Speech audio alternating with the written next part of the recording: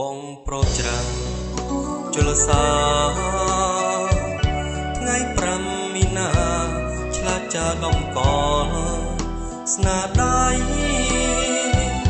2020ជាងពិនប្រព្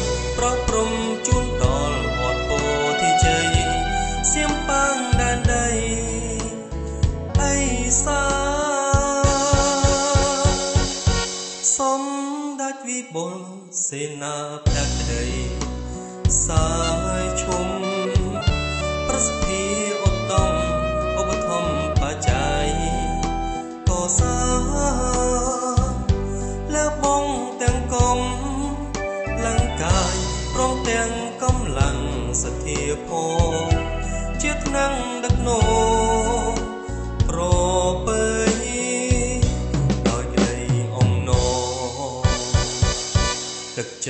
ចិត្តសាទរគ្រប់គ្នាត្រេកអរកាន់រឿសៃមាថ្មីឆ្លងព្រះវិហារជូនពុទ្ធបរិស័ទទុំនៅឆ្ងាយចិត្តបានមកមូលមីសទ្ធាមុននឹងឃ្លាតទៅ សូមថ្លែងអំណរអរគុណជូនពរឧត្តមសុខភុំក្នុងផ្លូវសាសនាពុទ្ធពរទាំង4ប្រកាសជូនដល់សម្ដេចលោកជុំទាវញាតិមិត្តគ្រប់កាយសុខសា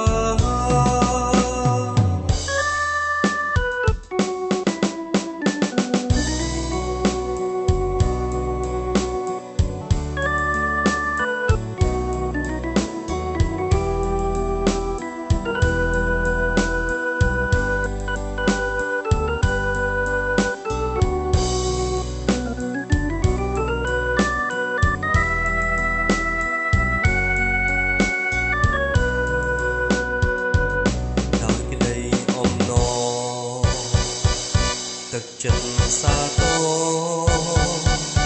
គ្រប់គ្នាត្រេកអរកាន់រឿសៃមា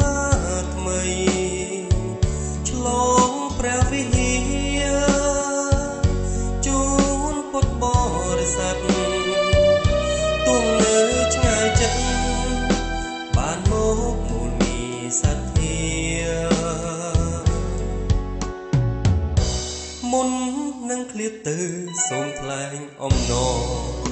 អរគុណជូនពរអប់នំ